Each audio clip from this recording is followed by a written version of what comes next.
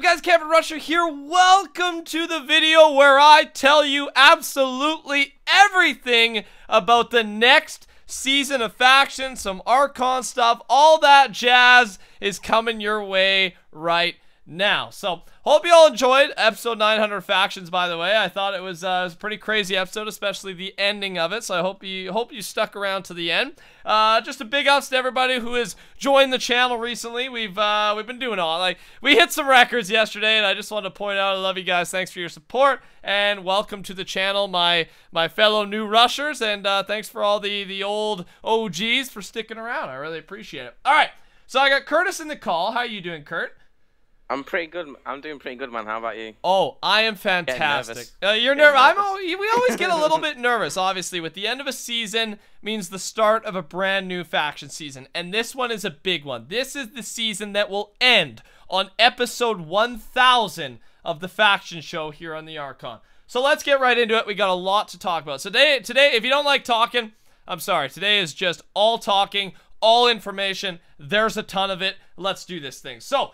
Starting off, we are going to get into it right away. The brand new faction server for next season will be called Cyan X. Cyan, Cyan X. And it is releasing Wednesday, June 8th. So if this, uh, if you're seeing this video right when it comes out, it'll be releasing two days from now, Wednesday, June 8th. And that means the first episode of the brand new season will be live 7 p.m. Eastern, Thursday, June 9th. Why is it called Cyan X? Well, if you guys don't know uh, the history of this faction show, on episode of uh, on episode 300 or so 350 i changed the shape of this show it went from straight up just raiding and not interacting with anybody to getting people in calls to the drama to all this and during faction cyan is when this show ended up blowing up and it, it, turned my channel and this channel into what it is today. Faction Cyan was the roots of this show. And Factions Cyan X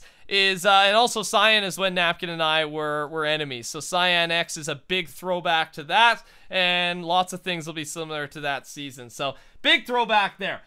Next thing on the list, Factions Cyan X will be joinable via a beta fee. So you guys know there's always some bugs, some issues, etc. when we release a brand new server. It always happens and we always do donator only for the first few days on the server. It's just it's just how it's been and it's the best way to test out bugs and make sure everything's working right. How we're going to do it to make it EULA compliant, EULA friendly and to uh, to work with our new rank supply, rank mission system, etc. There will be a beta fee. So all you got to do to get on the server. It's uh, it's not as expensive as a rank would be, etc. You can go to shop now. They're live right now. You can pick them up. A beta fee for Cyan X, ten dollars for beta access. Now we know, you know, $10 actually, I got something to announce to make it a bit cheaper in a second, but um, the server will not be public until Monday, June 13th. So you get five full days of beta access. Usually we do about three days, but we figured if it's a straight up, if you're just pay, paying paying for beta access, we want to make it a bit longer for you guys, and uh, and I think everyone will understand that. Help us test out stuff and get a little bit of a head start. So with that being said, public, uh, the server is public to non-donators, etc., non-beta fee users. Public Monday, June 13th. So you will have Wednesday, Thursday, Friday, Saturday, Sunday if you pick up the beta fee. Now, the beta fee is $10, but there is a 20% off sale happening on the entire Archon shop except for unbanned fees. Sorry, uh, sorry, cheaters and hackers, you don't get a discount. but uh, I, I, like that, dude. I like that. 20% off sale uh, on all of the Archon except unbans starting Tuesday, June 7th. So the day after this video is uploaded, you can go on the shop. It's from Tuesday, 12 a.m. Eastern, all the way till Sunday, June 12th 11:59 p.m. Eastern. So make sure you pick up whatever you need to supply drops, rank drops, rank missions, etc. And the beta fee will that that'll make it eight dollars. So it's an eight dollar beta fee, and uh, I hope people are cool with that. That's that's kind of our plan right now with that. 20% off sale. Make sure you take advantage of it. Ultimate Crate Key Edition 3. It releases Wednesday along with the release of Cyan X. We will be doing the Ultimate Crate Key Edition 3. Brand new prizes, rewards, etc. So be on the lookout for that. I'm super excited for a new Ultimate Crate Key. I'm always excited for a new Crate Key. Now let's get into the details of next season. What is Cyan X all about? How's it going to be different? How's it going to change the show? Well, you guys already know based on F900, the cliffhanger there things are going to be different between Napkin of Truth and I. And the team splitting up, etc. You guys don't know how all that's going to work. So first off, that is going to be probably one of the biggest changes in the show is not being with my boy Nap. That's is going to be very weird for me. Back to the old Cyan days, hence Cyan X. But with that being said, the gameplay changes for Cyan X. First off, lots of you have guessed it, custom biomes, dude. We got custom biomes coming to you, ladies and gentlemen. Uh, we were giving hints away in the factions episodes where we were demonstrating the rank missions, the supply drops, etc. We always did it in the custom biome. Few people caught on in the comments. Good on you. There will be brand new custom biomes. I'll, uh, Kurt, I'm gonna throw on a couple, couple screenshots right now for these ladies and gentlemen, eh?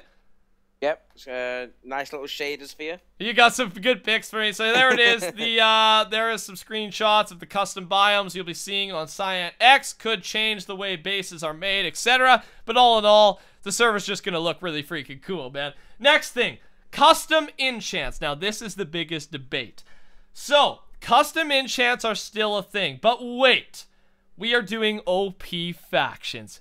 OP factions. And if my mind serves me correct, we have not done OP factions since before faction Cyan's. So that was like EP 200 days I'm talking. It has literally been years since we have done OP factions. Now, why does this matter with custom enchants? Custom enchants are a lot less valuable in OP factions. Your gear breaks really freaking fast, as you've seen when we fight on Sapphire, etc., and the damage is a bit bigger. On top of that, there will be a couple new custom enchants added along with a brand new tier 4 custom enchant slot that'll be 60 XP levels to gamble for. And there will be two new enchants there, and Replenish 3 will be put into there as well. It may be called Replenish 4 uh, because it'll be moving to Tier 4. It'll still do the same things. The biggest issue you guys have, and I think the server has with custom enchants right now, is no one dies. No one freaking dies, and it's uh, it ticks some people off. So the beauty of this custom enchants with OP factions, people are gonna die, but on top of that, we have focused heavily on on uh, offensive. Off offensive enchants are what is coming to uh, to the server. So uh, I won't talk about it, but it's a really cool enchant, and it's going to be called Tank 4. So that's coming very soon. That is a new offensive uh, custom OP faction enchant. And uh, it'll, yeah, it'll really help for people dying lots more, so a lot more action. Next thing on the list is a, uh, a little raiding edition, eh, Kurt, that we've, uh, we've decided here. And what it is basically, correct me if I'm wrong, is you so say you're getting raided lots of we did a lot focusing on raiding bases this season and changing how that works so if you are raiding a faction,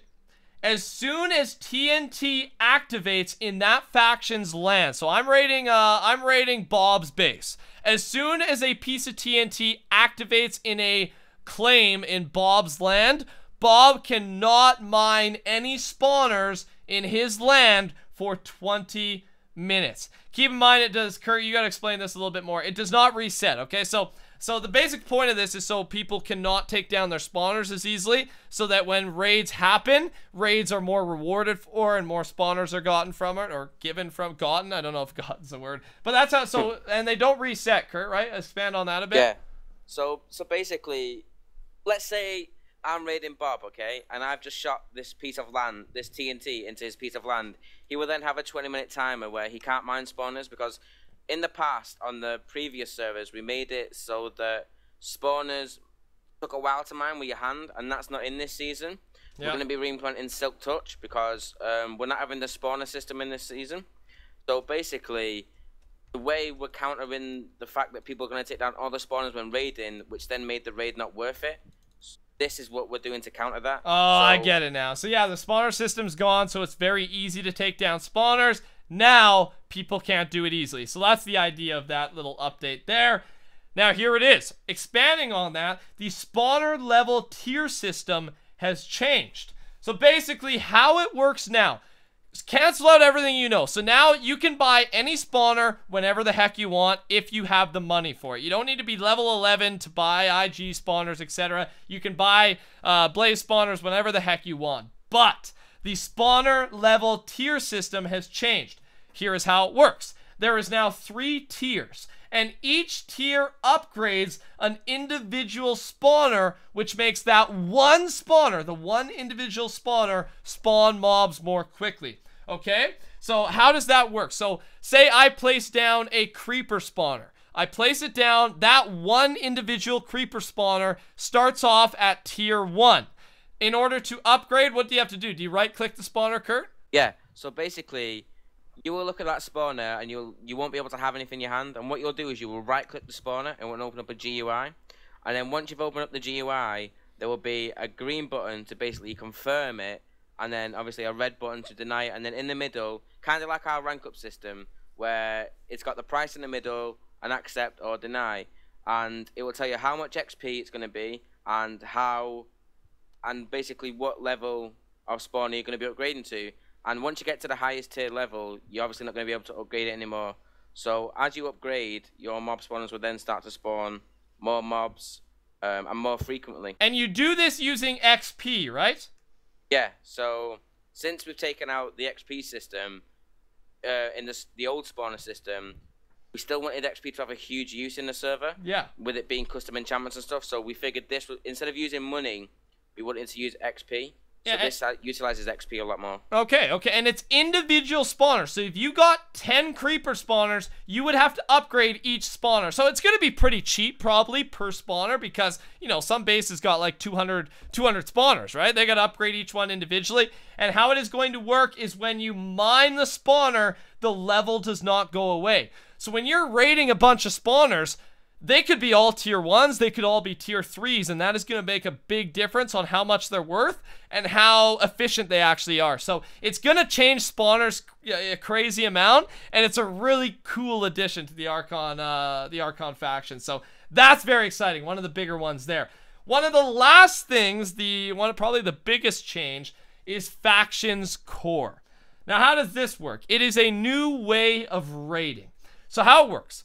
When you claim your faction's first piece of land, the core will spawn in, okay? We don't know what that core will be. Say it's a beacon for now, okay? So that core will spawn in. You can only break a core with TNT. Once it's there, it's there unless TNT slowly starts to destroy it.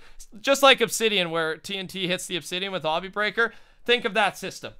If the core is broken, an unclaim all will occur for that faction. So if Team Nudist places down a core and that core is TNT'd by another faction or someone in your faction, if TNT hits it enough times, then Team Nudist has an unclaim all, basically. So this makes raiding very different. If someone is able to raid your core, you will lose absolutely everything. So defending that core is a very important aspect of this season. The core will be strong though, so don't worry about that. You will be able to defend the core with Bedrock, with Obby, etc. But the core itself will be very powerful. It won't be 10 TNT hits. It could be 100 to 1,000 TNT hits, something like that. So cores will not be easy to break. You can also level up your core using XP. Let me give an example of how it works. These are not the actual numbers, these are just example numbers. So a level 1 core takes 100 TNT to break. You would then spend XP on that core using the right click system, the uh, confirm, etc. And a level 2 core would now take 200 TNT to break. Again, those are not real numbers, but that is how it's going to work. As you upgrade the core, the core becomes stronger and it is harder to break that core and you can max a TNT, or I keep saying TT, max a core out, a factions core, up to level 5. So obviously we'll see the numbers, etc., the prices once we actually get onto the server, the season, in episode 1 here on Thursday. Uh, and then also, the core does not change. Like, you can still use the commands unclaim all, overclaiming, etc. It doesn't change any of that. It just adds another aspect and basically makes it harder to defend bases. Because this season of factions, we found that bases were too good.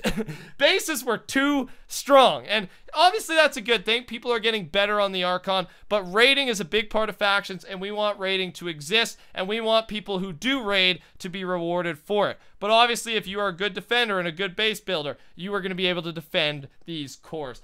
Last couple things, that's basically Cyan X. Of course, there's a lot of other stuff, specific enchants, etc. We'll talk about in the actual season uh, opener. But we've added you cannot log off in factions land unless you are in that faction uh, to prevent people setting homes, etc. Um, make bases more reusable. So if people spend, you know, 20 hours, 30 hours of work on a base, they get raided, they can reuse it again. We want that to be part of the game. Last thing, Factions Chrome will reset this Friday, June 10th. So if you're new around here looking for a fresh start, and if the new Cyan X is full, Factions Chrome will be resetting. You'll be able to compete for Baltop, F-Top, uh, uh, Buycraft prizes uh, via Factions Chrome. So make sure you check that out. And other than that, Curtis, did I miss anything? Nope, you missed nothing, dude. I missed nothing, dude. Holy, my mouth's getting dry, dude. That was a tough one. Lots of talking there. That's a, you know, I'm a professional talker, I think, and I just talked more than I've ever talked in my life. Again, there it is, ladies and gentlemen. If you want to see all of this stuff in action, hop on to pvp.thearchon.net. Wednesday, June 8th is when Cyan X drops. And of course, the new season begins Thursday for the videos. So make sure you're here on Thursday on the channel, 7 p.m. Eastern. And also uh, the sale. The sale has started Tuesday, June 7th, I believe. And then Monday, right now, you can pick up the beta fees to join Cyan X uh, during the beta testing up until Monday. Ladies and gentlemen, that is everything. Thank you for being here. Lots of information in one video. Sorry if I dragged it on a little bit. I tried to be quick and efficient there. Uh, but honestly, thank you for all your support on the channel recently. I uh, we've we've been hitting records lately, and it's absolutely phenomenal. I'm super happy. I'm just I'm just in a really good mood, and I'm I'm going the hardest I've ever went at YouTube, and it's because of your your guys' awesome support. So thanks for being here. Touch that like button if you're excited. Join the rushers by subscribing to my channel if you're new around here, and have a good day. We'll talk to you all later. Goodbye.